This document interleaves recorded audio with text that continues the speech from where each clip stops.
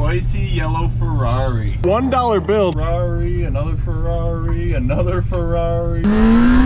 Closest person to guess the price will be getting an RK Motorsports shirt. All right, guys, I am pulling into Copart right now. We are in Newburgh, New York, and we're gonna go pick up our 2012 Honda CBR 600 RR. As you can see, big Copart sign. We are here. Let's pull in. I gotta check in. I'll see if they can bring the bike out to me. All right, guys, so we just got checked in. I'm here sitting in the parking lot, and you can see some of the other cars. Look right in here. You can see a bike in the back of the bed, and you can see another motorcycle sitting right there. Kind of neat how they're towing those bikes. They're just throwing it in the back of the salvage pickup truck bed. Got the other one just strapped down right there. Looks like a Harley of some kind. Pretty cool what you see here. Never know what you're gonna see. I actually do know that there's a Ferrari 458, I believe it is, 2014. It's like bright yellow. I believe that is here at the yard too. I'm gonna see if I can get a sneak peek. If I can't, I'll pop a couple pictures here right now. I was watching the bidding for that when I was bidding on the CBR, and I think the bidding for that Ferrari ended up getting up to like $117,000, and it still didn't sell. All right, guys, so I am heading back into the Copart yard right now. Brief glimpse through the trees. Look at all those cars that are in there.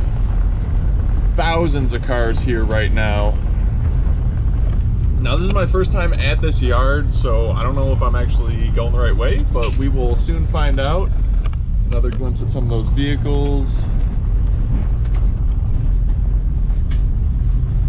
Cars all over the place. Take a look at those ones.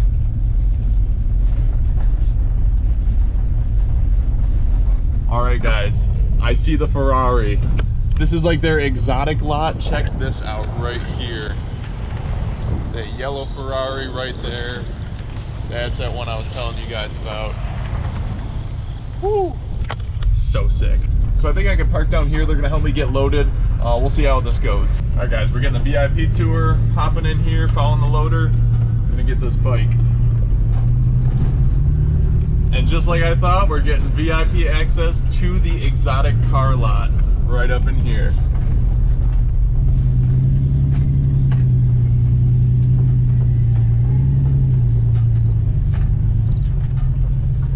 Check this out, guys. All these bikes. All right, we'll load it up.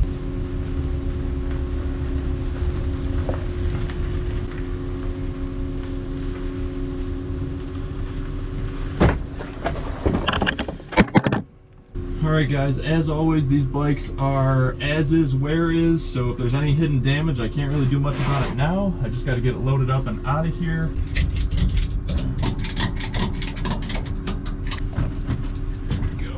All right guys, gotta make it quick, but these are the other bikes that are here. Got the Harley, Ninja 300s, not too crazy.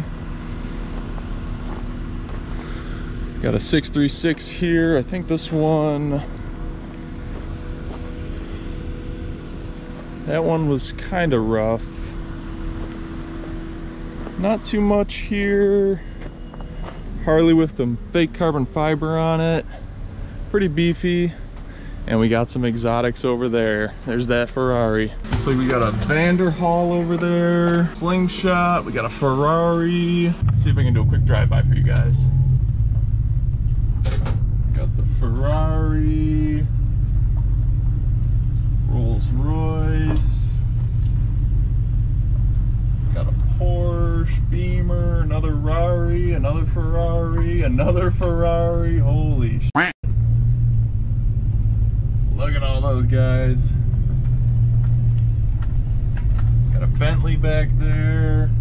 Oh, look at that old jalopy so sick. So glad that we were able to get in here into the little VIP lot.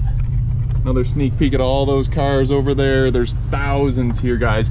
Literally straight ahead, look at all those cars out there. Crazy, crazy stuff. I just noticed there's a McLaren chilling back there too. And there is that spicy yellow Ferrari. Look at that thing. $117,000 the bid went up to and it still did not sell. That's crazy. Then there's the backside of that Ferrari. You Crashed in pretty good. And the Vanderhall, the Slingshot. Crazy stuff here, guys. There's so much money in wrecked vehicles. It's crazy. And it really makes you wonder like what some of the people do with like cars like that. Now that yellow Ferrari, I believe is a flood vehicle. It said it was a run and drive vehicle. So I mean, it could probably be fine, but there's probably some hidden damage for sure. Figured I'd give you a little sneak peek of some of those other vehicles that are here. There's all those transit vans again as we make our way out. So we got our CBR 600. Let's get back to the shop.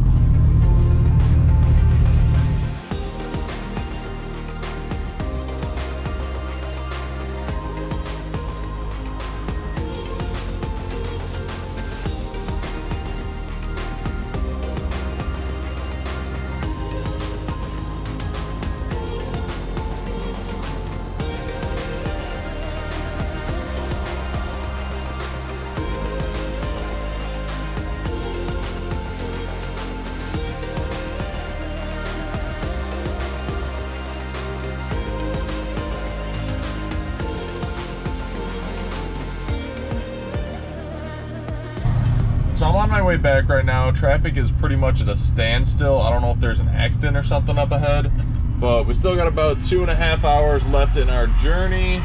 And if there's an accident up here, I will let you guys see. We are barely moving right now.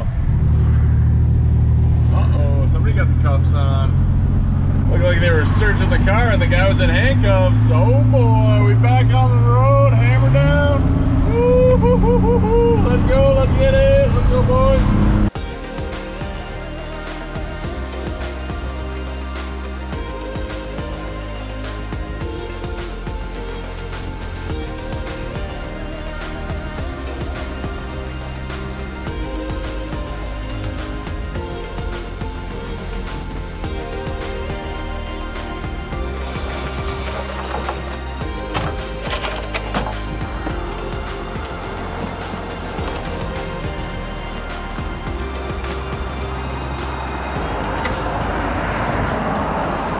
right, guys, so I just got the bike unloaded. This thing is looking pretty dirty. You can see all this dust and everything on the seat, on the plastics. So it's gonna be a little bit harder for us to really kind of see the scratches versus the dirt. So I'm gonna wash this thing really quick and then we're gonna go over all the damage on this thing. This bike really is not looking bad, guys. So let's wash her up and then let's take a look at the damage.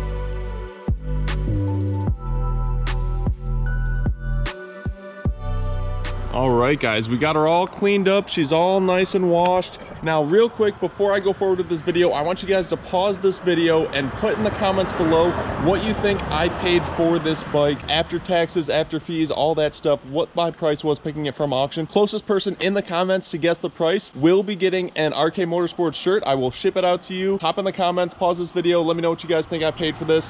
Now let's check over the damage. So as I was washing this thing, I could not believe how clean the finish is on these fairings. The previous owner of this bike must have taken really good care, washed it, waxed it, because this water was beating off of these fairings. These almost look flawless. Besides some really minor scratches that are, you know, just come with age. And of course we have the damage over here that was actually from the accident. Now, a little note to you guys, you see all these little marker pen markings on the bike. We got some up here, some down here.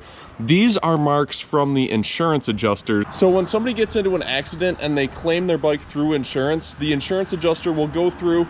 I've seen them use little pieces of tape for marking the damaged pieces. I've seen paint pen marks. Sometimes you don't see any markings and they just jot down notes on their clipboard. If you see the little pen markings like this on the fairings, that means that the insurance adjuster has gone through, marked the areas that they noticed were damaged, and these are some of the pieces that are gonna be factored into their total estimate for cost for what it would be to repair this bike.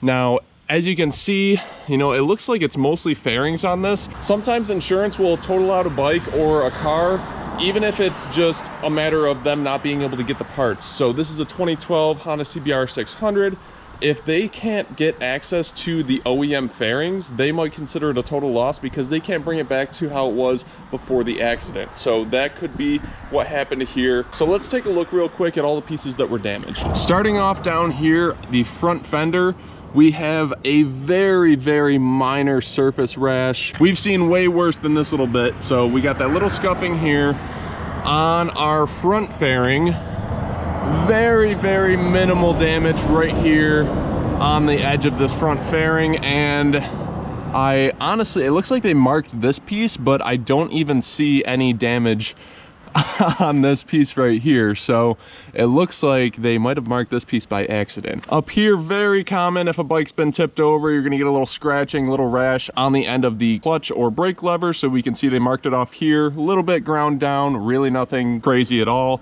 little bit there and we have a little bit of scuffing on the end of our handlebar. Looks like they also marked the front left turn signal. If you look underneath here there's a little bit of rashing a little hard to see and you can see it kind of popped out of its little rubber boot here. All I got to do is kind of push this rubber piece in and I should be able to get that straight. Moving back on the bike a little bit more, you can see right here where I showed you previously on the tank, we have very, very minor scuffing right on the edge of this body line right here.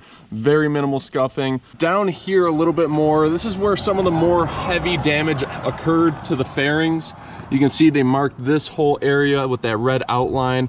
Got some scuffing right here on the edge little bit up here on this piece and this piece right here. So even though these three pieces are damaged, these pieces cover pretty much the whole left side fairing. So they pretty much need all these to be replaced in order to get it back to where it was originally before the accident. And you can get a little better idea from down here. Looks like that's a little heavier damage right here. And that's i know i think the stator cover's right behind here. I'm not sure if that punctured through into the stator cover. Could be some hidden damage but honestly it looks like just cosmetic on the fairings right here. And down below looks very clean. Moving to the back of the bike. Foot pegs nothing here. Usually you see these all scratched up. These look good. Nothing on our side pegs here. These look really clean and again, we've got that paint mark line right here with some minor, minor scuffing on the edge of the body line on our tail fairing. We also have some very minor rash on our rear swing arm spool. That can be replaced. I'm not worried about that. And we have a broken lens on our rear turn signal looks like it might have gotten busted out a little bit. We should be able to push that back into place get a new lens for that and we'll be styling. Looks like there might be some other very minimal scratches. I mean these could have been from the tow yard from when they picked the bike after the accident. Looks like very minor scratches there a little bit on the seat. We've got one little scratch on the fairing here that they circled up some other very minimal like surface scratches and stuff like that. Really nothing that's standing out too much. And the other thing i missed up here we've got some scratches on our left mirror. Kind of hard to see but we do have some scratching right there. Now i actually have not heard this bike run yet. In the listing for the auction it was marked as the bike runs and drives but they didn't have a video of the bike with the engine running. Now i was just about to go turn this on and I saw this in here, right down here. Check this out, guys. We have a $1 bill that's wrapped up around the clutch cable. I actually saw that in the pictures for the bike before it went up to auction, and I could not believe that this is actually still here. I thought somebody at the yard would have taken that. There's a well, so I got a dollar off my purchase. Look at that thing. Look at that dollar bill. Can't believe that dollar's on there. let's get this thing fired up. 14,866 miles. I just want to check the oil real quick. I didn't see any leaks or anything. Okay, oil is in there. Not sure if it showed up on camera, but there is oil. Let's turn the key and let's see if we can get this thing started. Ooh, okay, okay. Oh, wow, rookie move. Did not have the kill switch gone. Let's try this again, guys. Woo! Great success! She's quiet. She's quiet all right. Got that stock exhaust on there. Fired right up, guys. Engine sounds really healthy. I cannot believe that they actually totaled this bike out for such minimal damage. Got her warmed up now. We got about 150. Now, if you guys are wondering, that's just condensation coming out the back. It's a little chilly out today, but this thing sounds unbelievable for the mileage. All right, guys, let's take this bad girl for a rip.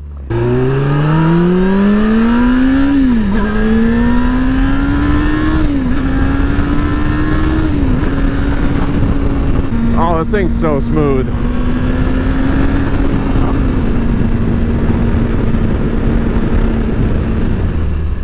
Guys, I literally cannot believe that they ended up totaling this bike out for such little damage. Unbelievable.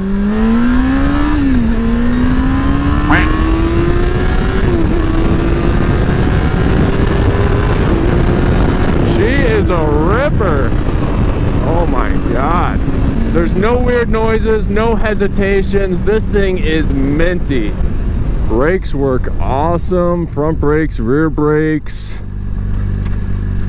Unbelievable. What a score this thing is. 2012 CBR 600 with 14,800 miles. Cannot believe it. So again, let me know in the comments below what you guys think. I paid for this. I will be giving out a RK Motorsports t-shirt to whoever gets the closest. And uh, yeah, let me know in the comments below with that. And I'll see you guys in the next one. Peace.